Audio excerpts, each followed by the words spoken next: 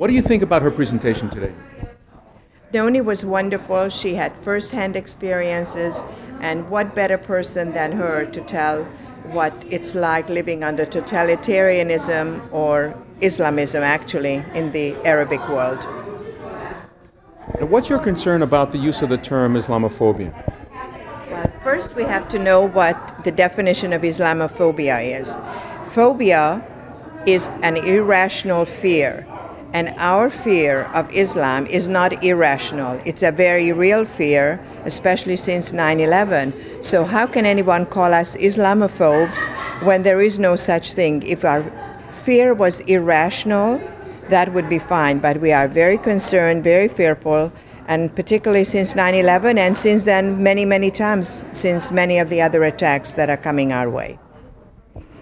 What does Islamophobia uh, imply when it's used? Do you think it's used to, to silence critics of, uh, of Islamic radicalism? I think it's used to accuse us of any name, and people just shut down when they're called certain names. And it's a way to uh, keep us quiet. Not me, but most people.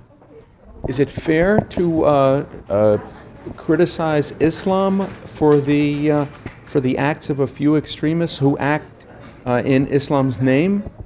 Well, unfortunately, there are a lot of radicals, and it's not a few, because if you take only 10% of the Islamic world, the Muslims, of about a 1.4 billion, that's not a small number. When it comes to percentage, 10%, which is very conservative, may be small, but 140, 150 million people is not a small number. And at the same time, many of the people who are radical, they're the vocal ones. The moderate secular ones are not vocal, and sometimes they may be in silent support as well. You mean people who are moderate Muslims today could be at some point? Moderate is a very interesting word.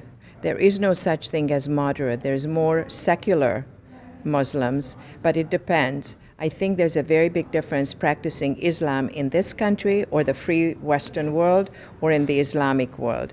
In the free world, you can actually separate Islam from the religion and the political ideology. But in the Muslim world, there is no such thing. There's one way, and Sharia is the way. You come from uh, Hungary, do you? Yes, I come from Hungary, a different totalitarian country. And when I speak of experiences, it's from firsthand experience and really having lived it. I always tell people when they try to shut me down, I'm not doing this speaking from a book or something I've studied and learned, but I'm speaking from firsthand experience, living under the totalitarianism, which is now no picnic for anybody. And, and, and I don't wish it on anyone. And what do you recognize within Islam that uh, brings up your uh, familiarity with totalitarian communism?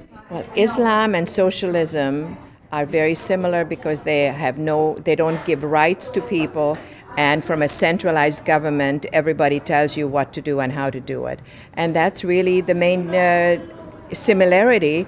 The totalitarianism, it tells you what to do, what to think, how to dress, how to live, and what to say and what not to say. Is that what your fear that Islam is bringing to the West? Unfortunately, it is. And being that I'm a naturalized American, I always say, I came here, I wanted to assimilate, become a proud, grateful American. I never wanted my way to be imposed on others. Whereas the new immigrants come and they want to impose their way on us. And that doesn't work for me.